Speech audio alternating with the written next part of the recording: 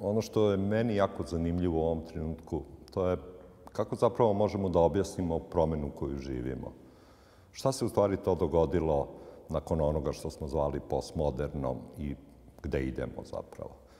Pa rekao bih da je u srcu te priče ipak neka potreba da nanovo promislimo tehne. Naime, ako pogledamo kako smo do sada razumevali tehne, a negde možda je vrhunac u modernoj to bilo upravo čuveno Heideggerovo čitanje moderne tehnike kao postava, kao nečega što je stalno spremno da bude iskorišćeno.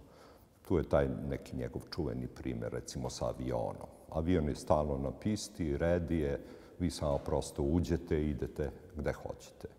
Naravno, u tom trenutku se to činilo kao jedno, rekao bih, zanimljivo čitanje koje negde pokazuje u kojoj meri je čovek počeo prosto da se izmiče u odnosu na tehne. No, danas, sa ovom promenom, izgleda da se ponovo postavlja to pitanje, pre svega jer tehnologija 21. veka se radikalno razlikuje od tehnologije 20. veka. Dakle, ono što je bilo kod Heideggera postav, danas u stvari se otvara u jednoj potpuno novoj perspektivi, a to znači da se otvara prostor za samoreplicirajuće mašine, za mašine koje mogu same sebe da usavršavaju i koje mogu same sebe da updateuju, da tako kažem. Naravno, samim tim se otvara ključno pitanje koje je mesto tu čoveka.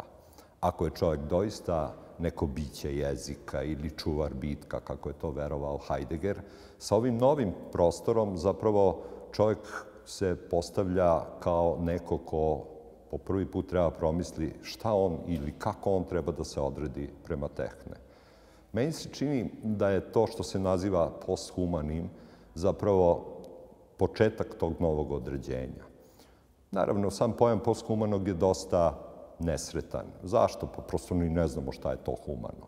No, može se dogoditi da upravo kad uđemo u taj posthumani period, da po prvi put zapravo sagledamo šta je to bilo nekada humano.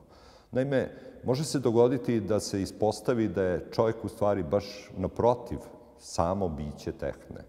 Da je on u stvari taj koji je osuđen da otvara neke nove prostore i da gradi potpuno nove odnose sa mašinama. Naravno, samim tim ono što je ključno za mišljenje jeste kako ćemo mi misliti neku novu budućnost koja će biti upravo taj spoj vrlo čudan, nepredvidiv, biotehnologija, nanotehnologija, infotehnologija, sa tim što se dojuče nazivalo ljudskim bićem.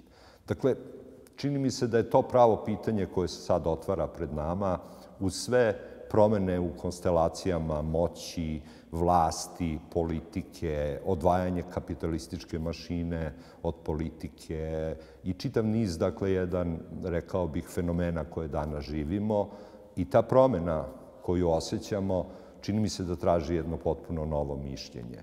Naime, želi to ili ne, moramo se vratiti mišljenju.